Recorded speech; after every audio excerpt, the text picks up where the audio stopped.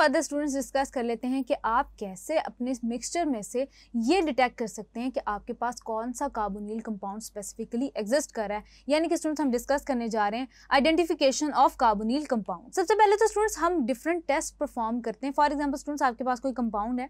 आपसे कहा गया है कि कोई भी कार्बोनिल कंपाउंड है, आपने बताना है कि ये एल्डिहाइड है या कीटोन है। तो स्टूडेंट्स उसके लिए कुछ आइडेंटिफिकेशन टेस्ट होते हैं जो कि आप अपने प्रैक्टिकल्स में भी परफॉर्म करेंगे और अपनी हायर क्लासेस के अंदर भी परफॉर्म करेंगे, जब आपको कोई अननॉन सैंपल दिया जाएगा। सबसे पहले जो स्टूडेंट्स आपके पास टेस्ट आ रहा है, वो आपके पास आ रहा है two four dinitrophenyl hydrazine test अब स्टूडेंट्स ये जो स्पेसिफिक टेस्ट हैं अब स्टूडेंट्स याद रखिएगा कि आपके पास आइडेंटिफिकेशन की बेसिस क्या होती है, सबसे पहले इसको डिस्कस कर लेते हैं।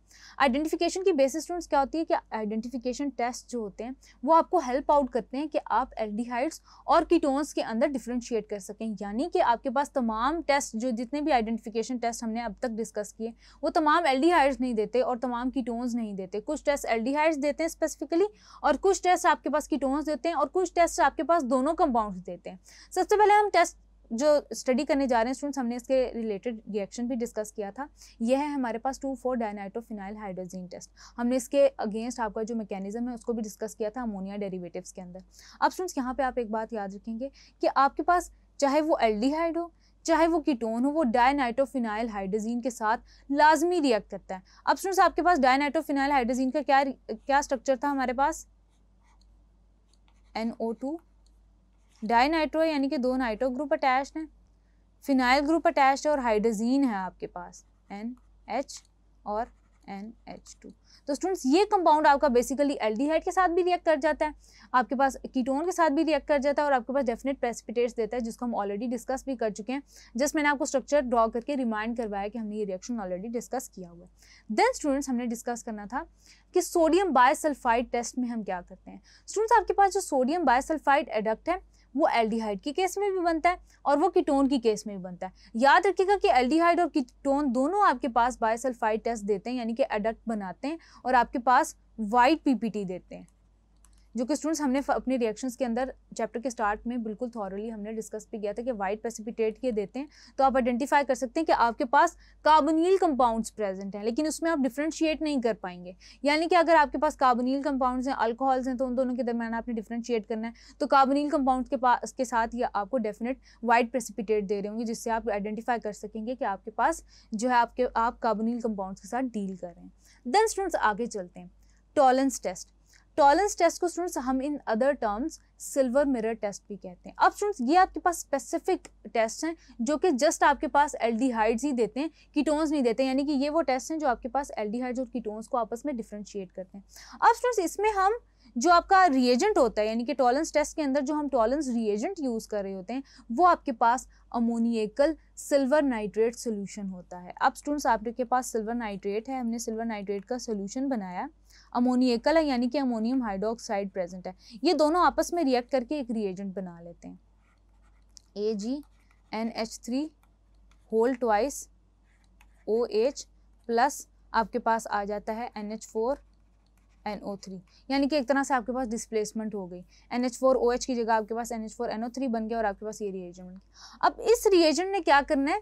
एल्डिहाइड के साथ रिएक्ट करना है। चाहे वो फॉर्मल है, चाहे वो एसिटल है, मैं जनरलाइज करके आर ग्रुप मेंशन करूँगी एल्डिहाइड के साथ। A G N H three whole twice O H plus आपके पास स्टूडेंट्स यहाँ पे आ जाता है आर सी एच ओ अब ये आर आपके पास सी एच थ्री भी हो सकता है और हाइड्रोजन भी हो सकता है एल्डिहाइड और कीटोन की केस में। एसिटल्डिहाइड की केस में और एसीटोन की केस में। देन स्टूडेंट्स आपके पास ये रिएक्शन हो रहा है तो आपके पास क्या जनरेट होता है यहाँ पे? R C double bond O O negative N H four positive ये आपके पास सॉल्ट बन गया एक तरह से आपके पास अमोनियम एसिटेट बन गया या आपके पास इस तरह से अल्काइल अगर ये C H three group attach है यहाँ पे तो आपके पास ये अमोनियम एसिटेट जनरेट हो गया ठीक हो गया स्टूडेंट्स अब यहाँ पे इसके साथ आपके पास सिल्वर जो है वो अलग से जनरेट होगा यानी कि एक तरह से कह सकते हैं कि आपके पास जो सिल्वर है वो रिड्यूस हो गया ये सिल्वर आपके पास सिल्वर मिरर टेस्ट की कंफर्मेशन देता है आपके पास सिल्वर मिरर आपके सोल्यूशन में बन जाता है जहाँ से आप ये कंफर्म कर सकते हैं कि आपके पास एल्डिहाइड्स एग्जिस्ट कर रहे हैं सिल्वर बन जाता है एंड देन स्टूडेंट्स आपके पास अमोनिया के कुछ मॉलिक्यूल जनरेट होते हैं और आपके पास वाटर मॉलिक्यूल जनरेट होते हैं, जिससे आप फर्दर कंफर्म कर लेते हैं कि आपके पास ये बायो प्रोडक्ट्स जनरेट हो जाते हैं। आई होप कि स्टूडेंट्स आपको ये टेस्ट टिपिकली कैसे रिएक्ट करता है, कैसे प्रोसीड करता है, आपको समझ आ गया होगा। आगे चलते हैं स्टूडेंट्स हम फर्दर टेस्ट को डिस्कस कर लेते हैं। अब स्टूडेंट्स आपके पास जो फेलिंग सोल्यूशन टेस्ट है और बेनेडिक सोल्यूशन टेस्ट है, ये तकरीबन एक जैसे हैं, यानी कि आपके पास जो एंड रिज़ल्ट आता है, वो in the form of brick red precipitate आता है और आपके पास ये दोनों टेस्ट जो हैं वो एल्डिहाइड्स दे रहे होते हैं कीटोन्स नहीं देते। स्टूडेंट्स आप याद रखिएगा कि आपके पास जो फेलिंग सोल्यूशन है, ये आपके पास अल्कलीन सोल्यूशन होता है containing cupric cupric tartrate complex ion जबकि स्टूडेंट्स आपके पास जो बेनेडिक्ट सोल्यूशन होता है, ये आपके पास अल्कलीन सोल्यूशन होता है कंटेनिंग क्यूप्रिक सिट्रेट कम्प्लेक्स आइन अब इसका कैसे रिएक्शन होता है, उसको हम डिस्कस कर लेते हैं, दोनों का रिएक्शन स्टूडेंट्स आपके पास सेम तरह का होता है। ये आपके पास जो है तकरीबन आपके पास ये अल्कलीन कंडीशंस के अंदर ये रिएक्शन हो रहा होता है तो कैसे होता है इसको हम डिस्कस करते हैं। स्टूडेंट्स कॉपर का आपके पास स्टार्टेट और क्यूप्रिक आपके पास सिट्रेट कम्प्लेक्स आइन इसमें एग्जिस्ट कर रहा होता है। उस कम्प्लेक्स ने स्टूडेंट्स कन्वर्ट करना होता है क्यूप्रिक को उसकी अल्कलीन फॉर्म से उसकी ऑक्साइड के अंदर। और स्टूडेंट्स जब आपके पास क्यूप्रिक ऑक्साइड जनरेट होती है तो आपको पता चल जाता है कि आपके पास एल्डिहाइड्स प्रेजेंट हैं। वो कैसे? फॉर एग्ज़ाम्पल स्टूडेंट्स, हम आर सी एच ओ लेते हैं। R C double bond O H अब स्टूडेंट्स, ये आर आपके पास एल्डिहाइड भी हो सकता है, यानी कि आपके पास ये सी एच थ्री भी हो सकता है, हाइड्रोजन भी हो सकता है सी एच थ्री भी हो सकता है। अब स्टूडेंट्स, ये आपने लिया, इसको आपने रिएक्ट करवा देना है C U O H whole whole twice के अंदर प्लस स्टूडेंट्स, आपके पास एन प्रेजेंट है, क्योंकि हम एज मैंशन मैंशन लिया कि आपके पास अल्कलीन सोल्यूशन होता है सोडियम हाइड्रोक्साइड की प्रेजेंस में ये रिएक्शन हो रहा होता है। ये इसको स्टूडेंट्स आपके पास कन्वर्ट कर देता है R C double bond O O negative N A positive यानी कि उसको रिस्पेक्टिव सॉल्ट के अंदर कन्वर्ट कर देगा। उसके बाद स्टूडेंट्स ये आपको कन्वर्ट कर देता है सी यू टू ओ के अंदर प्लस स्टूडेंट्स आपके पास वाटर मॉलिक्यूल्स आ जाते हैं। तो स्टूडेंट्स यहाँ पे आप एक बात याद रखेंगे कि आपके पास दोनों रिएक्शंस की केस में जो आपके पास ब्रिक रेड प्रेसिपिटेट बन रहा होता है, वो कॉपर ऑक्साइड की वजह से बन रहा होता है।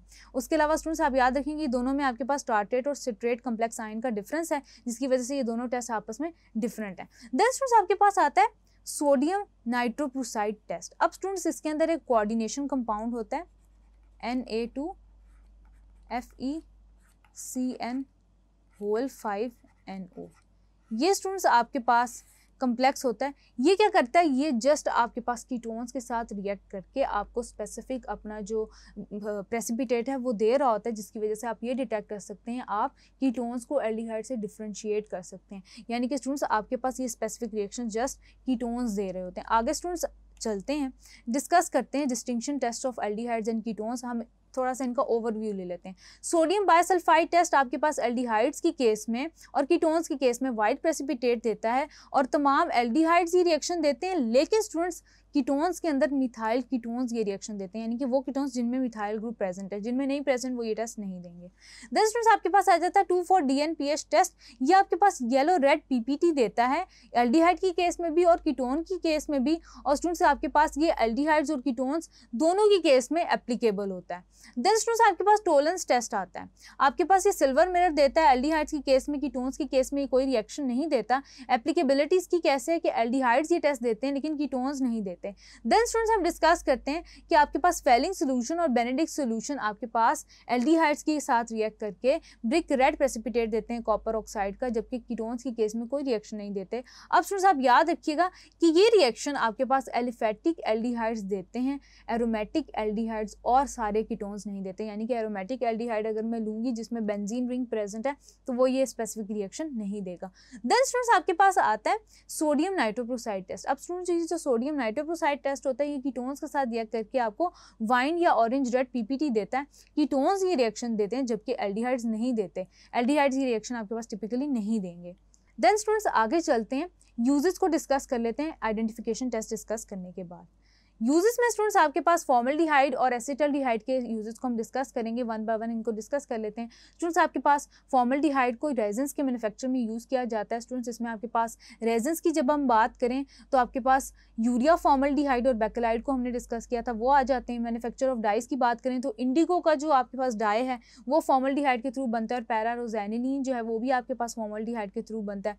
फॉर्मलिन का स्टूडेंट्स हमने पहले भी डिस्कस किया था कि आपके पास जो फॉर्मल्डिहाइड का जो आपके पास फोर्टी परसेंट सोल्यूशन होता है, उसको आप फॉर्मलिन कहते हैं, इसको आप जर्मीसाइड के तौर पे डिसइनफेक्टेंट के तौर पे यूज़ करते हैं हर्बीसाइड के तौर पे भी यूज़ करते हैं।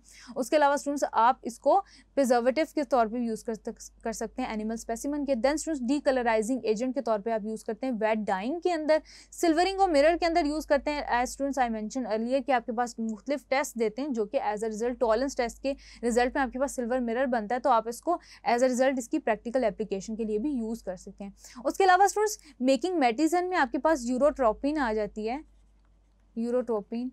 जो कि स्टूडेंट्स आपकी किडनी से रिलेटेड एक मेडिसिन है जिसको आप यूज़ कर सकते हैं। देन स्टूडेंट्स आपके पास जो थ्रोट लोजेंजेस होती हैं, उनमें स्टूडेंट्स आपके पास फॉर्मामेंट आ जाता है। फॉर्मामेंट को थ्रोट लोजेंजेस बनाने में यूज़ किया जाता है। उसके अलावा स्टूडेंट्स आपके पास जो फॉर्मल है, उसका एक बहुत फ़ेमस यूज़ जो है वो एंटी पोलियो वैक्सीन के अंदर होता है।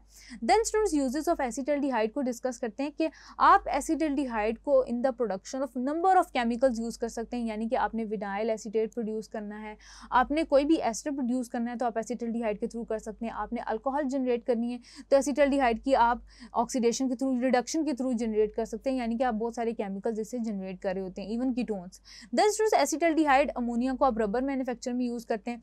उसके अलावा स्टूडेंट्स आपके पास जो क्लोरल हाइड्रेट और इथानॉल टेट्रामर और ट्राइमर्स होते हैं स्टूडेंट्स याद रखिएगा कि इनको आप हिप्नोटिक ड्रग्स के अंदर, यानी कि स्लीपिंग पिल्स के अंदर यूज़ करते हैं। उसके अलावा स्टूडेंट्स आपके पास जो इथानॉल टेट्रामर है, उसको आप स्लग पॉइजन के तौर पर भी यूज़ कर सकते हैं। उसके अलावा स्टूडेंट्स आपके पास जो एसिटल है, वो इनहेलेंट्स में भी यूज़ होता है। सिल्वरिंग और मिरर में अगेन यूज़ होता है, क्योंकि आपके पास एल्डिहाइड्स जो वो टिपिकली टॉलेंस रिएजेंट के साथ रिएक्ट कर जाते हैं। फिनोलिक रेजेंट्स आप प्रोड्यूस करते हैं, उसके अलावा स्टूडेंट्स क्योंकि आप इससे हिप्नोटिक ड्रग्स यूज़ करते हैं प्रिपेयर करते हैं। इंडस्ट्रियली तो स्टूडेंट्स और भी सिंथेटिक ड्रग्स आप एसिडल्डिहाइड के थ्रू प्रिपेयर करते हैं। Having set that students that was all from our chapter today I hope कि आपको अच्छे से समझ आया होगा। This is your on screen chemistry instructor Imsha sir signing off from Tutoria dot P K इनशाला will see in the next video with next chapter till then take care अल्लाह हाफिज़